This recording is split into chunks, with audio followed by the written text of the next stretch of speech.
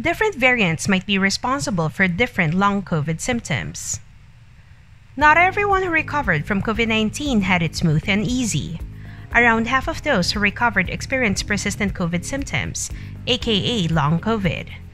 Aside from being mysterious on its own, a yet to be published study revealed that different SARS CoV 2 variants could lead to different long COVID symptoms. This may complicate things for doctors worldwide. Medical scientists have their hands full in understanding COVID 19.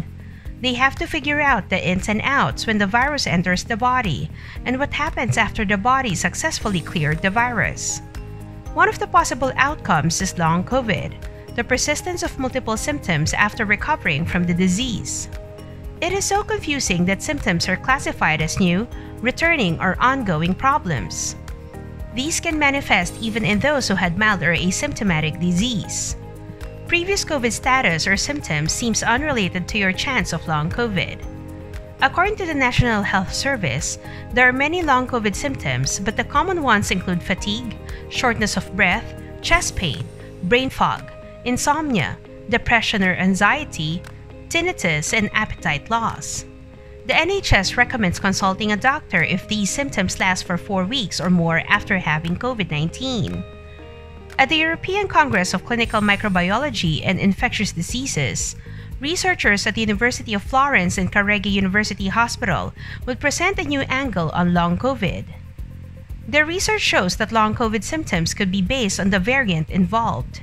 It would mean that the Alpha variant could trigger a set of symptoms different from that of Omicron.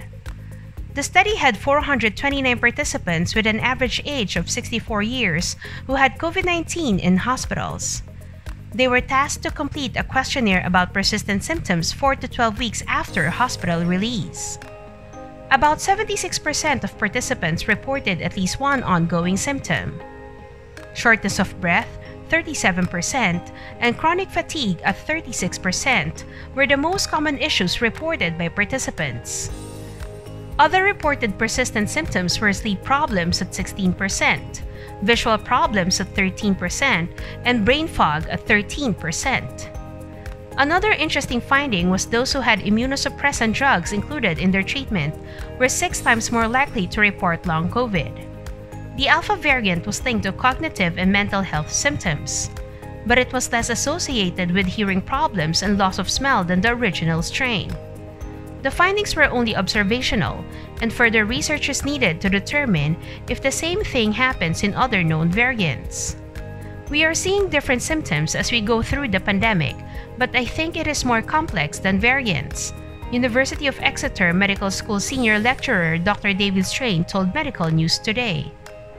Do you agree that long COVID symptoms are based on variants? Do you know someone who recovered from long COVID? Share your thoughts in the comment section.